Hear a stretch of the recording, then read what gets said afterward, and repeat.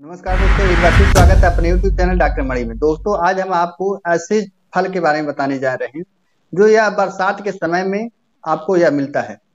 तो उतने समय आप इस फल को खा करके आप अपनी सारी बीमारियों को दूर कर सकते हैं, जो आपके शरीर का बूस्टर भी करेगा और आपको डिहाइड्रेशन से बचाएगा और आपके शरीर के अंदर अगर पानी की कमी हो गई है गर्मियों तो अभी यह पूरा करेगा। तो उतने समय आप इस फल को खा करके अपनी बहुत सारी बीमारियों को ठीक कर सकते हैं। दोस्तों, अगर आप डॉक्टर मणि चैनल पर नए हैं तो डॉक्टर मणि चैनल को सब्सक्राइब करें, फॉलो करें, शेयर करें, ताकि आपको अच्छी अच्छी वीडियो हम आपके बीच में लाते रहें और आपको ज़्यादा से ज़्यादा जानकारी मिलती रहे। दोस्तों, आज हम आपको सिंघाड़ा खाने के बारे में बताने जा रहे हैं कि सिंघाड़ा ये मिलता कहाँ है और किस तरह का होता है। तो उसी के बारे में आपको बताने जा रहे हैं। दोस्तों, यह सिंघाड़ा जो होता है, यह बरसात के समय में या गड्ढे में उसका जो जड़ होता है, उसको लगा करके इसको तैयार किया जाता है। तो उतने समय आप सिंघाड़ा खा करके आप अपनी बहुत सारी बीमारियों को आप कंट्रोल कर सकते हैं और बहुत सारी बीमारियों से आप बच सकते हैं। दोस्तों मार्केट में यह सिंघाड़ा जो होता है, यह आपको लगभग पंद्रह से बीस रुपए किलो तक मिल जाएगा। तो आप इसका प्रयोग करके आप बहुत सारी बीमारी को कंट्रोल कर सकते हैं।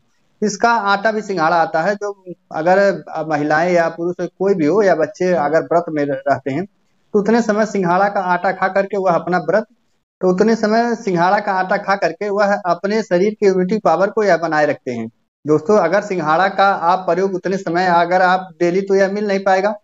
अगर मिल रहा है तो आप इसका प्रयोग अगर डेली आप कर रहे हैं, दो से चार या छह सिंघाड़ा आप दिन भर में तीन से चार बार अगर इतना इतना प्रयोग कर रहे हैं तो आपको बहुत सारी बीमारियों से यह लड़ने में मददगार होता है।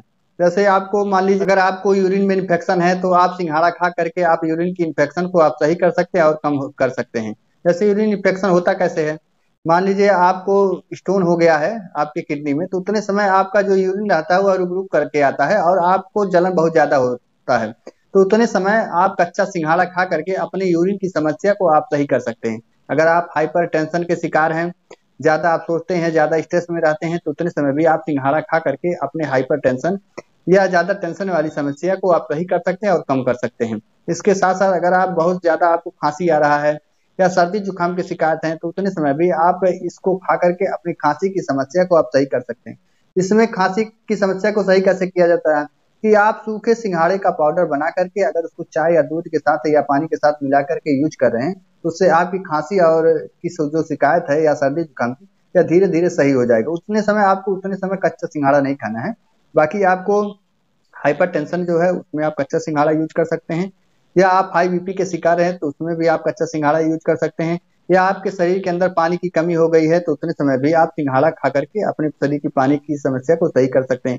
या आप पेट की समस्या से परेशान है तो उतने समय भी आप सिंघाड़ा खा करके पेट की समस्या को आप सही कर सकते हैं। या आप अपच के शिकार हैं बार बार आपका पेट में अपच होता जा रहा है कि जैसे आप खाना खाते हैं, आपको लगता है कि खाना सब हमारे पेट में रखा है, आपका पेट साफ़ नहीं होता, उतने समय भी आप सिंघाड़ा खा करके अपने अपच की समस्या को आप सही कर सकते हैं। और इसके साथ साथ आप हाई बीपी की अगर शिकार हैं, आपका बीपी जो है ऊपर नीचे होता रहता है, या कभी हाई हो जाता है या कभी लो हो जाता है तो उतने समय भी आप हाई बीपी की समस्या को आप सही कर सकते हैं। क्योंकि हाई बीपी जो होता है, इसी के द्वारा हार्ट अटैक की समस्या होती है। तो उतने समय आप सिंघाड़ा भी खा करके अपने हाई बीपी की समस्या को आप कंट्रोल में रख सकते हैं। और इसके साथ साथ अगर आपके शरीर का वज़न बहुत ज़्यादा हो गया है तो उतने समय भी आप सिंघाड़ा खा करके अपने शरीर का वज़न जो है, वह कम कर सकते हैं। और इसके साथ साथ अगर आपको ट्यूमर की समस्या है या आपका ट्यूमर बढ़ता जा रहा है तो उतने समय भी आप सिंघाड़ा का प्रयोग करें दिन में सुबह, दोपहर, शाम का प्रयोग आप सिंघाड़ा के रूप में कर रहे हैं तो उससे आपके ट्यूमर का जो ग्रोथ है, उसे आप रोक सकते हैं। और इसके साथ साथ आप अगर कैंसर पीड़ित हैं या आपको कैंसर की शिकायत है और निरंतर या कैंसर आपका बढ़ता जा रहा है तो उतने समय भी आप सिंघाड़ा खा करके या कच्चा सिंघाड़ा खा करके अपने कैंसर की समस्या को आप कंट्रोल रख सकते हैं। और अगर आपके शरीर में सूजन हो गया है, आप बहुत सारी दवा खा रहे हैं, लेकिन उससे आपका सूजन कंट्रोल हो रहा है, लेकिन फिर सूजन बढ़ जा रहा है। तो उतने समय भी आप सिंघाड़ा का प्रयोग करके अपने सूजन की समस्या को आप सही कर सकते हैं। अगर आपको कमज़ोरी महसूस हो रही है तो उतने समय भी आप सिंघाड़ा खा करके अपने शरीर की कमज़ोरी को आप दूर कर सकते हैं, क्योंकि सिंघाड़ा में 80 परसेंट तक पानी होता है। उससे आपके शरीर की जो भी एनर्जी लॉस होती है, वह सिंघाड़ा खा करके वह पूरा हो सकता है। जैसे आपको पानी की कमी जब हो जाती है तो आपका शरीर एकदम पूरा वीकनेस हो जाता है। तो उतने समय आप सिंघाड़ा खा करके आप पानी की समस्या को भी सही कर सकते हैं, जिससे आप स्वस्थ और ताज़ा महसूस करेंगे। उतने समय मान लीजिए आप सिंघाड़ा का नित्य सेवन नहीं कर रहे हैं तो हो सके अगर आपको उपलब्ध हो रहा है तो आप जब तक इसका सीज़न है, तब तक आप सिंघाड़ा का प्रयोग करते रहें। और इसके साथ साथ अगर आपका सेक्स टाइम बेहद ही कमज़ोर हो गया है या शीघ्र पतन बहुत ज़्यादा हो जाता है या तुरंत हो जाता है, चाहे वह पुरुष हो या महिलाएँ शीघ्र पतन तुरंत हो जाता है या शीघ्र पतन के बहुत दिन से शिकार है तो उतने समय भी आप सिंघाड़ा खा करके अपने शीघ्र पतन की शिकायत को आप सही कर सकते हैं। और जहाँ तक हो, आप कच्चा सिंघाड़ा का प्रयोग करें। अगर आपको सर्दी जुकाम बहुत ज़्यादा है तो उतने समय आप सिंघाड़ा को कम प्रयोग करें, जहाँ तक हो आप सूखा सिंघाड़ा का प्रयोग करें। और सर्दी जुकाम में भी कच्चा सिंघाड़ा आपके लिए बेहद ही फ़ायदेमंद होता है।